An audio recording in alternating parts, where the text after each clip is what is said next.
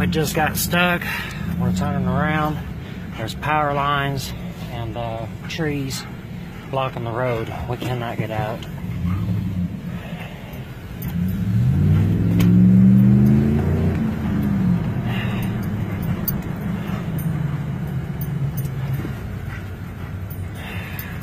Other people attempting to evacuate. Did you turn that Coleman off the house? It's never on.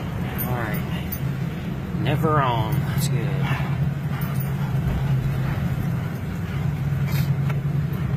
And now we're heading back towards where we live, which the inevitable we didn't think was going to happen.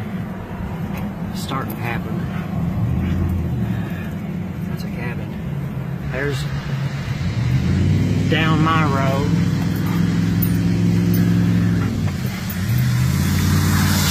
Oh shit. God.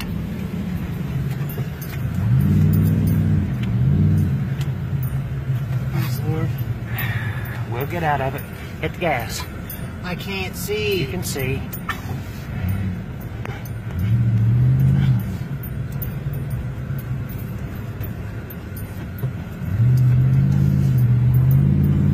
Everything is burning around us. Every cabin, everything.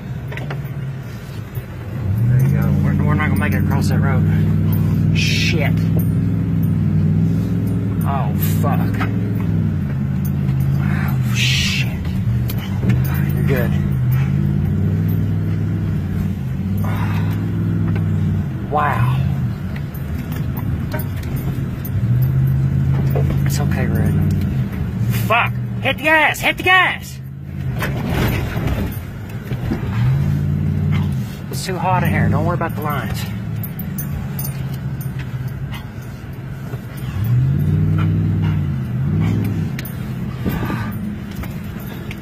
Oh, shit.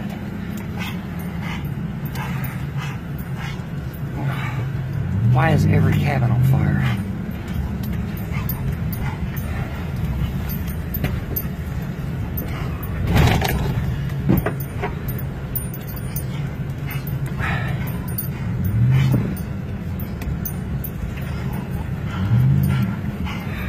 Fuck. I don't I don't think I don't know about this.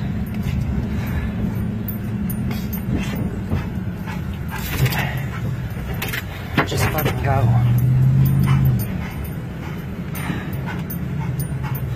my god. Well, at least the tree. Dude, this, this started at Natty Branch. We're going the wrong way. What?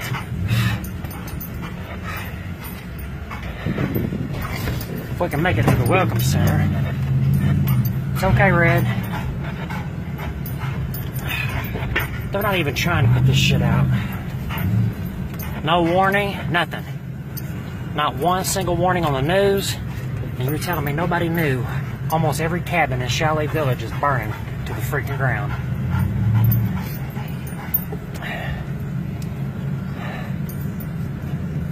It's okay, babe. Come here. I know your eyes are burning. Oh God, it was a beautiful cabin too. Not now. Hit the gas. Hit the fuck out of here.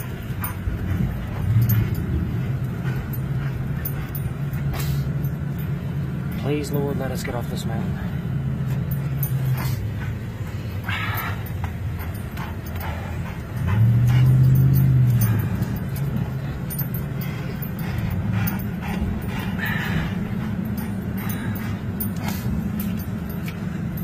Oh shit.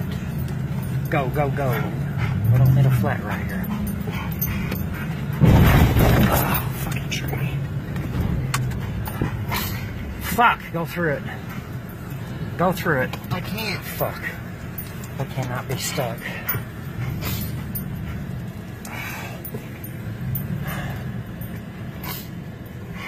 Here, hold on. Hold on. Fuck, dude, we are fucked. Shit. We gotta get out of here. Hold on. Keep her in here. Oh man. We gotta get out of here. How's that ditch look? Not good. I Try it on the left side where these sticks are short, get a running start.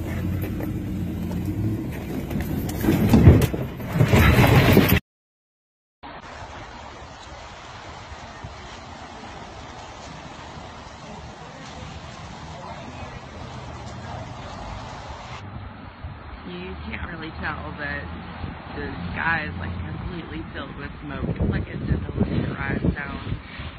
Um, the sky is actually orange. It's turning like a, it looks kind of gray, but there are ashes flying in the air. Um, there's not a single pedestrian walking for as far as I can see down there. Um, a few cars on the road, but not many. It's pretty desolate. Nobody's around. Um, usually there'd be people walking all up and down, but there aren't. Um, yeah, the sky is filled with smoke. Um, it just doesn't do it justice on the video, but I thought I would just try to get a video of it. Breaking news Gatlinburg is in danger. A mandatory evacuation in effect, and the National Guard is now mobilized, all due to wildfires raging tonight. Yeah, take a look at this video posted to social media of evacuees racing against the flames to get out of the Gatlinburg area tonight.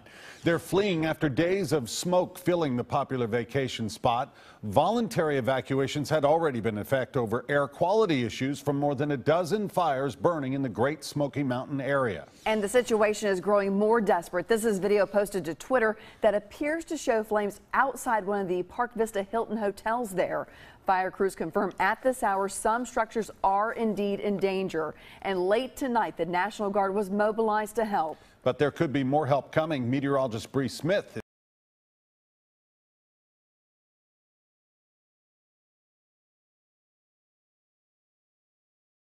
Fueled by tinder dry forests and high winds, wildfires tore through thousands of hectares of open country in northern Peru.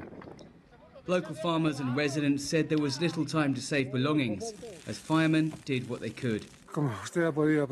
As you can see, it is not easy to deal with fire. It is our worst enemy. Farm and pasture lands were no match against the fire. Firefighters, local volunteers, and park guards battled the flames, often without enough water. Peru declared a state of emergency in parts of the country. This will permit the national government to continue mobilizing people, resources, and equipment in order to confront these fires and attend to the population that has been affected. Fires also hit more than five protected natural areas, such as the Laquipampa Wildlife Refuge, home to South America's only native bear, the rare spectacled bear. Scientists say droughts in South America are more frequent and more intense, and this could be linked to climate change. In Peru, farmers were using fire to clear land for crops, getting ready for the rainy season. But the rains never came. A special brigade of firefighters, normally stationed at the Inca citadel of Machu Picchu, has been sent to tackle the blaze. The strength and extent of the fires took Peru by surprise. Authorities have accepted they need to be better prepared next time. Dan Collins, Peru.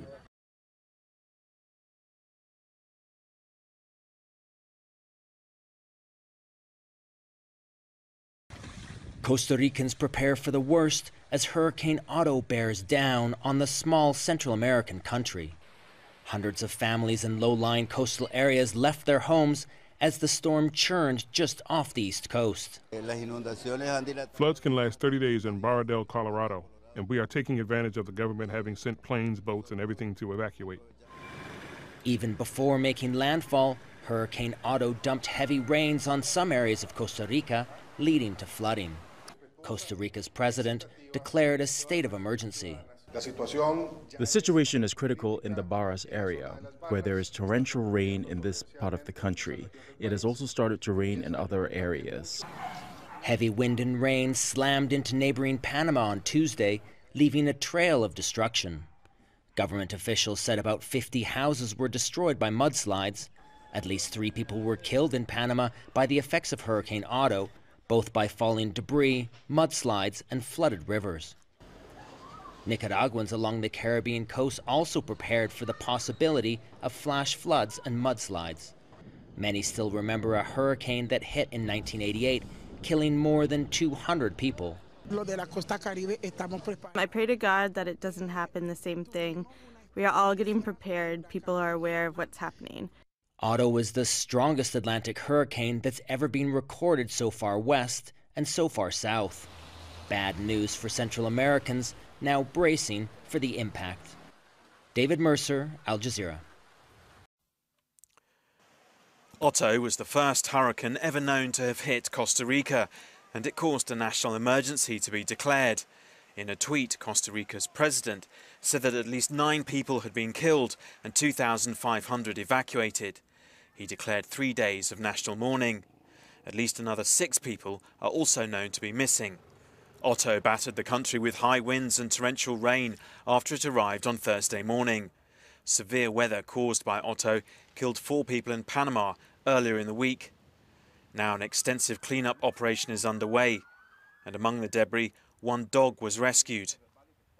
After leaving Costa Rica, Otto weakened into a tropical storm.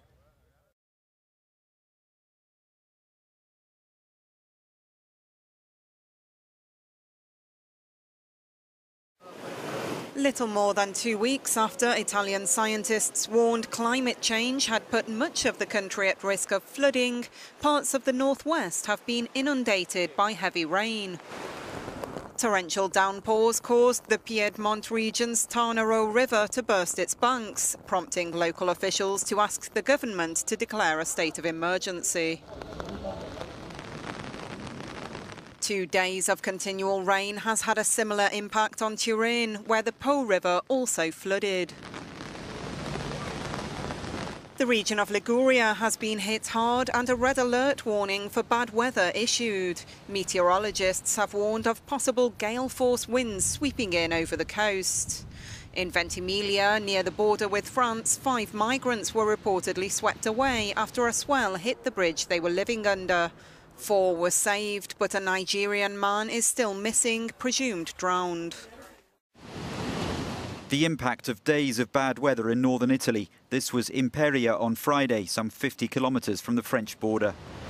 An elderly fisherman died in the surrounding Liguria region. At least two others are missing in northern Italy, another in Sicily.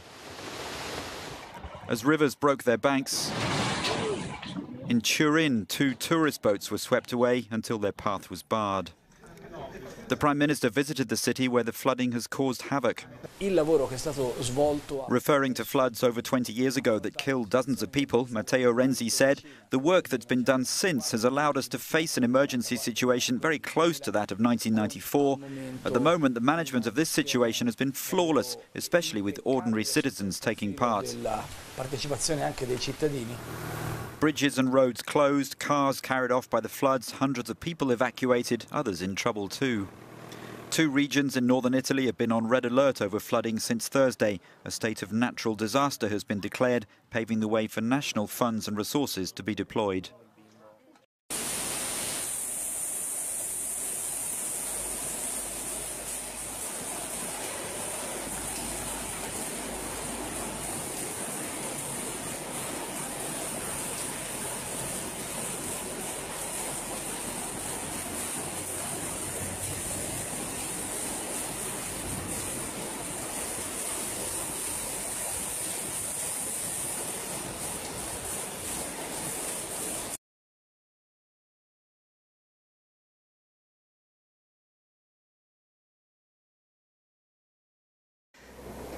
Unless the world stops burning fossil fuels that are fueling global warming, irreversible changes in the Arctic could have disastrous effects for the people that live there and for the rest of the planet. That's the conclusion of a report from the Arctic Council, who say the frozen region's ecosystems are fundamentally threatened by climate change and other human activities. The Arctic is much more connected to the rest of the planet, especially the climate system, than most of us think about. So the climate change that we're sending to the Arctic through greenhouse gases and, and uh, warming is, is likely to come back to us. Another study has found that a deep crack in the ice shelf itself led to a huge iceberg breaking adrift in the Antarctic in 2015. Experts think it's the first time a subsurface rift has been found in the Antarctic ice shelf. And higher water temperatures in warmer parts of the world in 2016 led to the worst destruction of corals ever recorded on Australia's Great Barrier Reef. The northern section of the reef is worst hit.